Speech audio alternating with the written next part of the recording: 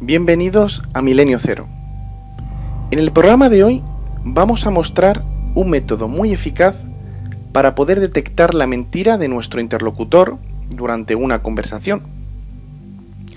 Con esta sencilla técnica usted podrá saber si le dicen la verdad o le están mintiendo. En nuestro día a día son muchas las personas con las que interactuamos y nos comunicamos.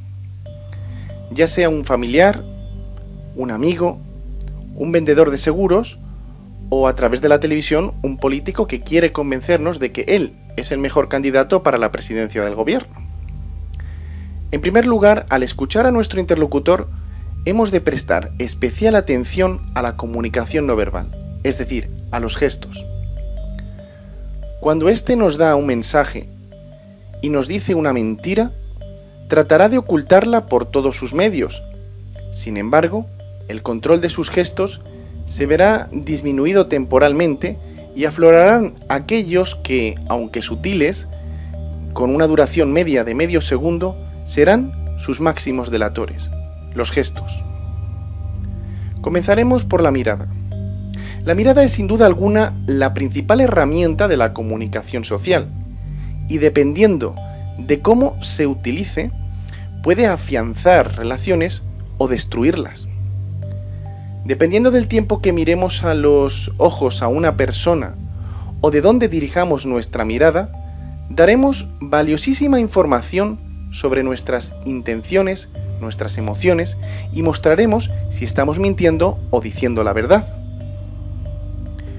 Muchas son las personas que con la finalidad de que no descubramos que eh, lo que están sintiendo o cuáles son sus intenciones para con nosotros, se ponen gafas de sol esto lo hacen para ocultar sus ojos, lo que genera a la vez desconfianza en la otra persona. Un estudio demostró, por ejemplo, que cuando se jugaba las cartas con gafas oscuras, era más fácil ganar que cuando no se llevaban, porque los otros jugadores lo tenían más difícil para advertir si en sus manos tenían buenas cartas o malas. Cuando le hacemos una pregunta a nuestro interlocutor, podemos analizar la dirección de su mirada mientras elabora la respuesta.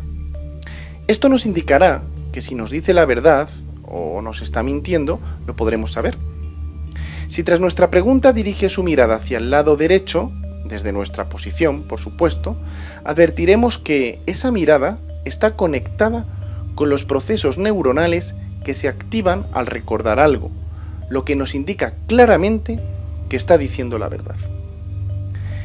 Si al realizarle la misma pregunta su mirada se hubiera dirigido hacia la izquierda, nos estaría indicando que lo que se ha activado es el área creativa de su cerebro y que por lo tanto nuestro interlocutor está inventando su respuesta. En este caso nos está claramente mintiendo. Si nuestro interlocutor está diciendo la verdad, Podremos incluso saber si el recuerdo que está buscando es visual, auditivo o verbal. En el caso de que el recuerdo sea visual, aparte de mirar a la derecha, su mirada se dirigirá hacia arriba. Si el recuerdo es auditivo, entonces la mirada será horizontal. Y si el sujeto dirige su mirada hacia abajo, a la vez que al lado derecho, el recuerdo eh, al que está accediendo nos indicará que es verbal. Del mismo modo, al mirar hacia la izquierda, el sujeto estará inventando, mintiendo e ideando un hecho visual si es hacia arriba, un auditivo si es horizontal y uno verbal si es hacia abajo. Esto se debe a que la mirada y el acceso a la información de nuestro cerebro están correlacionados y mientras que nuestro hemisferio derecho es creativo, nuestro hemisferio izquierdo es el que utilizamos para el acceso a los recuerdos.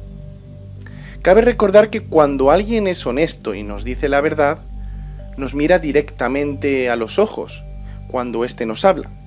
Si es deshonesto y nos oculta algo o teme que algo sea descubierto, notaremos que su mirada es esquiva, sobre todo en los momentos eh, que circundan al tema de conversación vinculados a aquello que nos oculta y por lo que nos va a mentir. Por otro lado, si la mentira que nos está diciendo es importante, la mirada caerá hacia el suelo. Pero no debemos confundir siempre que el interlocutor mire al suelo con la mentira, ya que la mirada también se utiliza para demostrar sentimientos de superioridad o de inferioridad. Mirar hacia arriba denota más superioridad y por el contrario mirar hacia abajo transmite sumisión o sentimiento de inferioridad. Los gestos eh, que se llevan a cabo con las manos en la cara también delatan la mentira. Si alguien que nos está hablando se roza la nariz o se toca así, al tiempo que nos está contando algo, denota que lo que nos cuenta o no es verdad, o en realidad está menos convencido mm, de que lo que dice es verdad de lo que a él le gustaría. Tal es el caso mm, de cuando alguien te dice creer en algo que en el fondo no cree.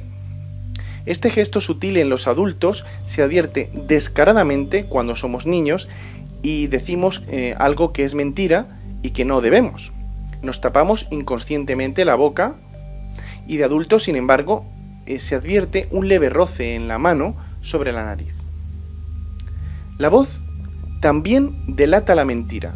Si alguien nos está contando unos hechos que no son ciertos y que está inventando en ese momento, porque nuestra pregunta le ha pillado por sorpresa, advertiremos varias cosas.